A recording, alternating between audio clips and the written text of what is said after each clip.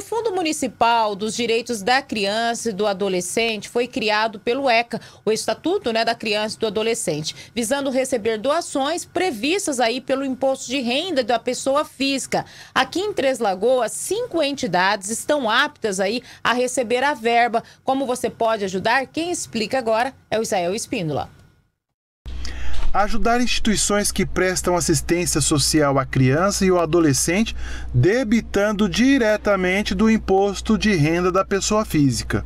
Foi neste intuito que foi criado o Fundo Municipal dos Direitos da Criança e do Adolescente, onde a pessoa física pode doar até 3% do imposto, mas a opção é válida somente para quem for optante da declaração completa. A pessoa física pode doar até 3% do que ela vai pagar de imposto na apuração agora do imposto de renda que nós estamos no último mês, entrando em maio, que vai ser o último mês que nós vamos poder declarar o imposto de renda. É, a pessoa física que for fazer a doação, para ela, o primeiro passo que assim, para ela poder doar o, esse dinheiro para o CMDCA, ela tem que optar pela declaração completa. Aquela declaração do imposto de renda, onde a pessoa é obrigada a informar os gastos delas com médico, com a educação dos filhos, com fisioterapia.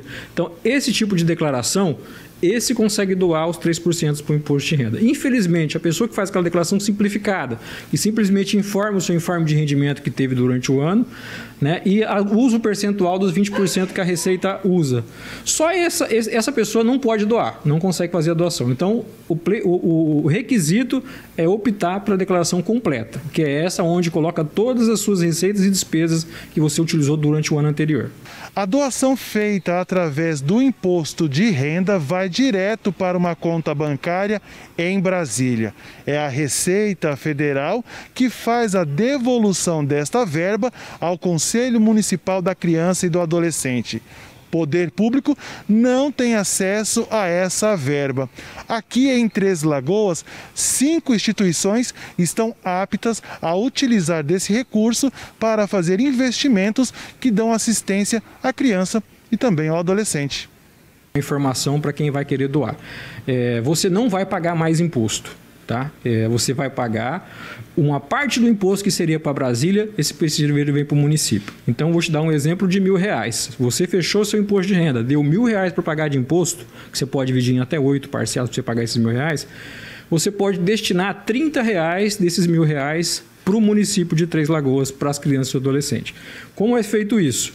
Você, você apresentou, usou a, a, o aplicativo da Receita Federal, vai gerar dois DARFs um DARF de 970 e um DARF de 30 reais.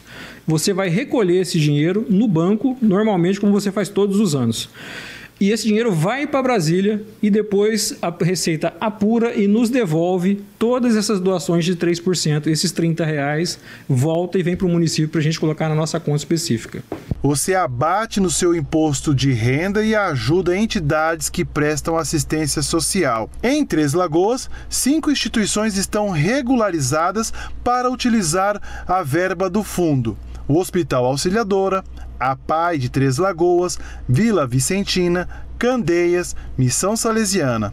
Vale ressaltar que outras entidades também podem utilizar do fundo, lembrando sempre que esse recurso precisa ser prestado contas. Ainda não tem o hábito ainda de fazer esse benefício, né?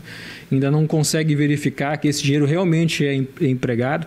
Eu até aproveito para deixar é, é, aberto aqui, o, local a gente está aqui na Rua Humano Soares 670.